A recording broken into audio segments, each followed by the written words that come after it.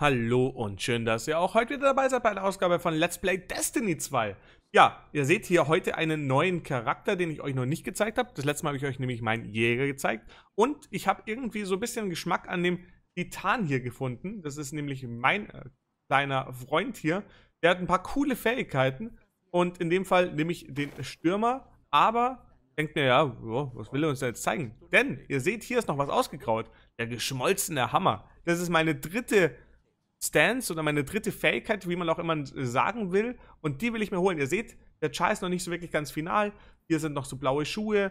Ansonsten, da geht noch ein bisschen was nach oben. Ich habe hier die Waffen von meinem äh, ehemaligen Main, also von meinem Jäger, rübergezogen und mache den jetzt zu meinem aktuellen Oberheini. Und jetzt will ich aber natürlich endlich den Char so gesehen final haben. Und dafür muss ich einfach nochmal zum Erde und dann geht es hier zum Bruchstück des Reisenden, weil da kann ich dann meine neue Ultimate holen. Das ist irgendwas, so eine Range-Attacke mit irgendwelchen Hammer werfen oder so. Muss ich mal gucken, weiß ich selber nicht ganz genau. Auf jeden Fall ist der Titan für mich ja so ein bisschen runder als der Jäger. Ich glaube, jeder hat in Destiny 2 so seinen, seinen eigenen Geschmack.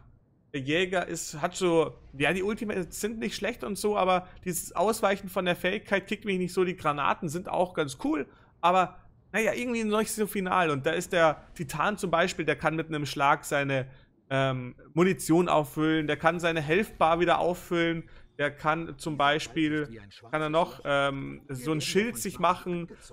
Ah, der ist einfach cooler, für mich. Will ich hier, jetzt will jetzt hier keinen dissen und sagen, hier, der Titan ist jetzt der der Shit. Aber für mich ist der schon sehr, sehr, sehr, sehr, sehr cool. Was ich eben auch bei Destiny geil finde, dass man wirklich einfach die Waffen, die man mit einem anderen Char findet, auf den nächsten übernehmen kann. Das ist jetzt auch unbedingt immer bei jedem Spiel. Laufe ich eigentlich? Noch ein, ein Chuchu. Ein Sparrow wollte ich natürlich sagen.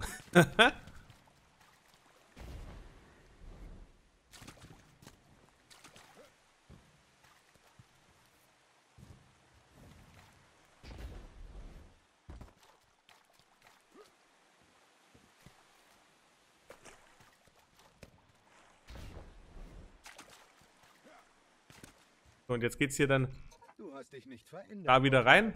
Immer noch groß gruselig. Lust auf eine Märchenstunde? Ja. Ich mag gruselige Märchen. Märchenwag weiß ich jetzt nicht, aber den anderen kann man ja eh nicht aufhalten davor. Sie sind durch einen Eid gebunden und leben als Aber nicht. Ich will eigentlich nur wissen, wie die Fähigkeit. Ich habe mich mit dem Char so gesehen wirklich nicht weiter beschäftigt, dass ich weiß, wie die Fähigkeit. Ich habe es ja einmal, glaube ich, im PvP gesehen. Aber ich habe es selber noch nie gehabt.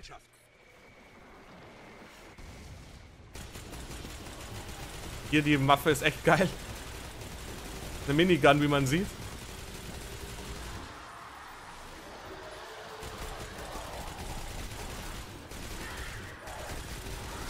Also die geht schon ganz gut ab.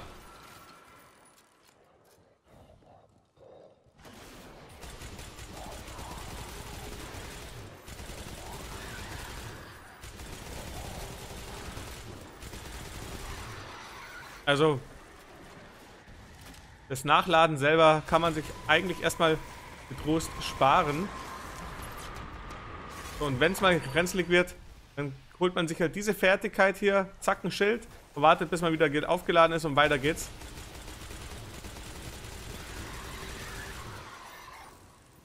So, Item.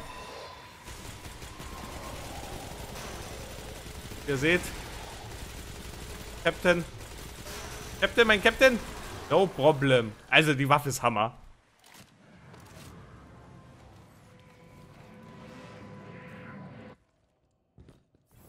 So, jetzt hat man es gleich geschafft. Dann kriegt man gleich hier seine Ultimate, seine neue und dann geht's richtig ab. Also waffentechnisch gefällt mir der mittlerweile sehr, sehr gut.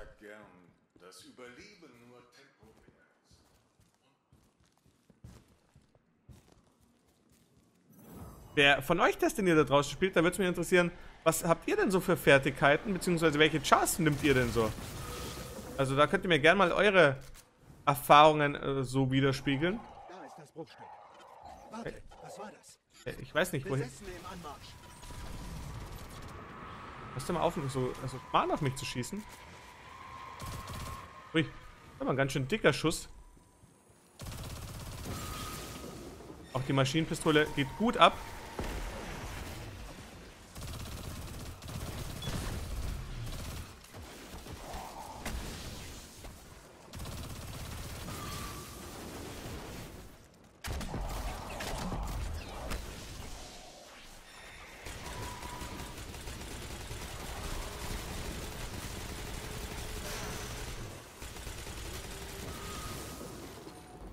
Also ich glaube, langsam weiß man, warum ich die Waffe ganz gut finde. Ja, die kann so ein bisschen was. So, und jetzt geht's zum Reisenden und jetzt kriege ich meine neue Ultimate. Ich bin schon sehr gespannt.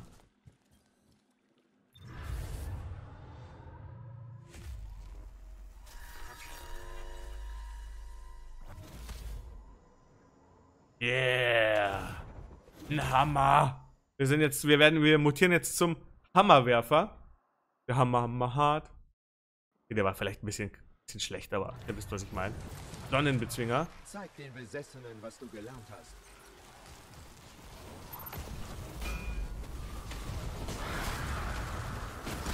Okay, wir haben jetzt einfach einen Hammer, den wir werfen können. Also wir, man kann uns jetzt auch Tor nennen. Oh, was ist das für eine Granate?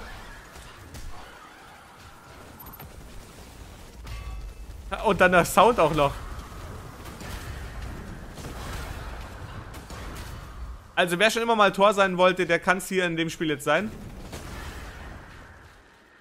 Total lustig. Weil auch klar, jeder Char braucht auch so eine Range-Attacke als Ultimate. Weil es gibt im, Content viele Sachen, die eben ähm, erfordert, dass man eben aus der Distanz schießt.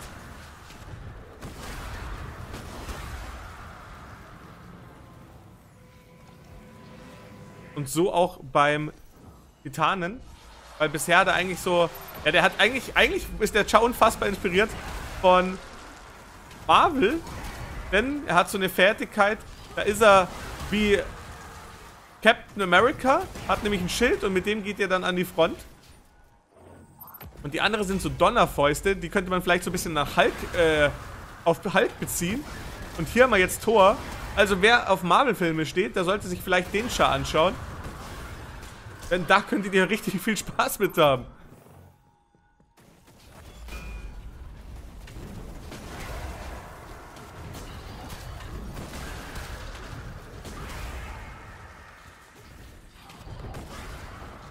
Aber natürlich, man merkt auch, dass das jetzt nicht seine Haupt... Also dass er jetzt nicht unbedingt der allerbeste Fernkämpfer ist, der auf Gottes Erden wandelt.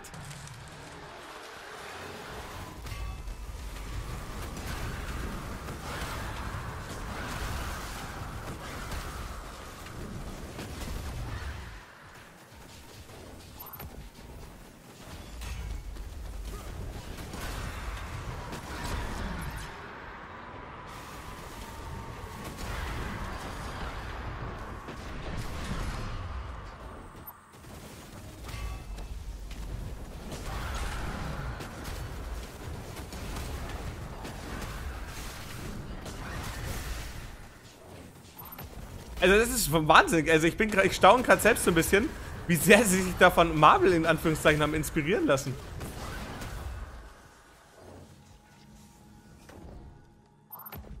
Habe ich so auch noch nicht irgendwo wahrgenommen. Aber gut. Eine nette Hommage. Die Besessenen werden alles versuchen, um uns aufzuhalten.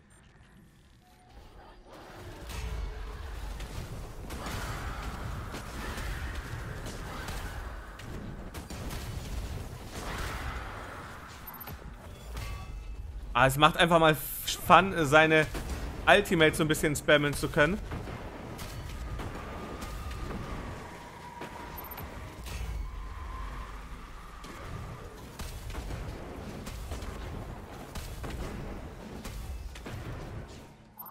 Man fühlt sich schon, man fühlt sich schon mächtig.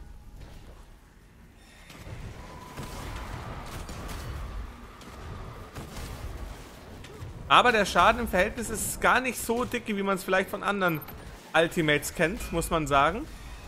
Also es ist wirklich eher so, ja, jetzt hast du auch hier eine Fernkampfattacke. Und jetzt sei einfach leise und zufrieden. So, gib mir hier schnell das Bäumchen.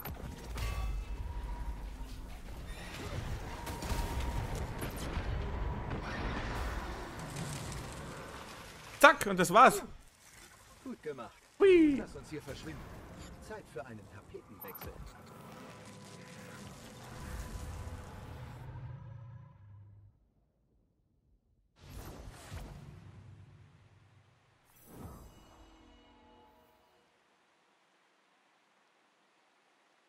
So, und dann war's das nämlich auch schon von der neuen Fertigkeit. Jetzt will ich euch aber eine Sache noch zeigen. Da gehen wir aber mal in Orbit zurück, beziehungsweise ich warte noch schnell, bis die Mission offiziell beendet ist. Vielleicht gibt es dafür noch ein paar XPchen.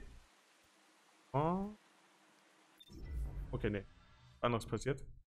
So, genau hierhin wollte ich aber, weil Jetzt haben wir hier auch eine Ausrüstung freigeschaltet. Also es gibt drei Fertigkeiten. Sentinel, Stürmer und jetzt auch Sonnenbezwinger. Und in dieser Fertigkeit könnte ich immer sozusagen für zwei Wege entscheiden. Ich zeige euch, glaube ich, mal eher den Stürmer. Ich glaube, nee, da habe ich es auch noch nicht. Das heißt, man hat hier einen Weg und man kann hier oben, doch, da habe ich es freigeschaltet, noch einen anderen Weg gehen. Das heißt, da gibt es immer noch so ein paar andere Fertigkeiten, was man damit einhergeht und was man damit kann. Und so ist es halt. Und man kann auch hier nochmal die Sprünge, die äh, Fertigkeiten auch noch verändern, auch die Granaten. Also da ist jeder Char, hat sozusagen drei Skill-Trees mit nochmal innerhalb davon drei unterschiedliche oder in Summe sechs Fertigkeiten. Also man hat schon ein paar Char-Möglichkeiten, die hier einem an die Hand gegeben werden. Finde ich sehr spannend und ich bin sehr gespannt und hoffe, dass ich euch bald den ersten Raid zeigen kann und ein bisschen mehr Content werde ich auf jeden Fall euch noch von Destiny zeigen. Ja, wenn ihr dazu auch noch was zu sagen habt, dann sagt es gerne. Ich bin sehr gespannt auf eure Destiny-Erfahrung. Bis dahin wünsche ich euch ebenfalls alles Gute, viel Loot Luck, euer Icaramba.